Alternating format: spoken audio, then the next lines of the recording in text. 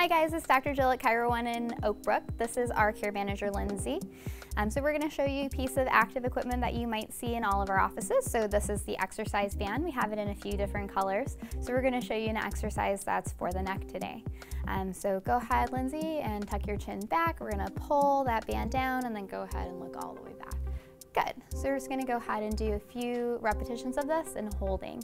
Um, so these bands are used for therapeutic exercise in our office. It helps the muscles with strength, endurance, and flexibility. It also helps you hold your adjustment longer and gets your brain used to the adjustment if you're doing it within close proximity of getting the adjustments. That's why we do in office therapies.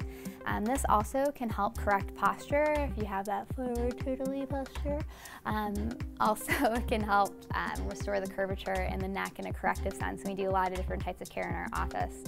Um, everyone prescribes the exercises differently depending on what our patient needs. So you might see people doing this a little bit differently somewhere else and that's okay. Um, some general things we want to make sure that we're doing when we're doing this exercise is don't let go of the bands that would totally snap in your face and not be fun.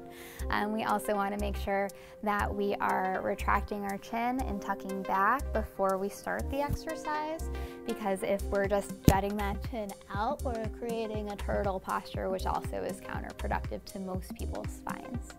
Um, yeah, looks good. How's that feel, Lindsay? Hard. um, so it's definitely working that endurance component of the muscles. So again, you might find that um, your doctor has prescribed it differently for you. Um, we also use these bands for different exercises for the upper back, the lower back, um, just to help everything get stronger so that you can make more progress and be in pain less.